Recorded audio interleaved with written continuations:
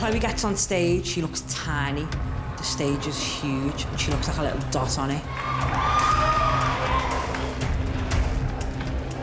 When I was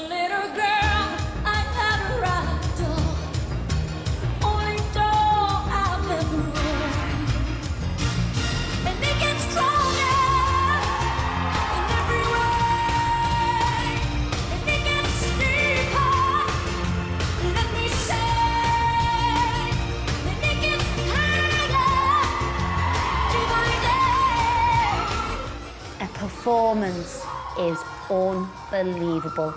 I can't fault it.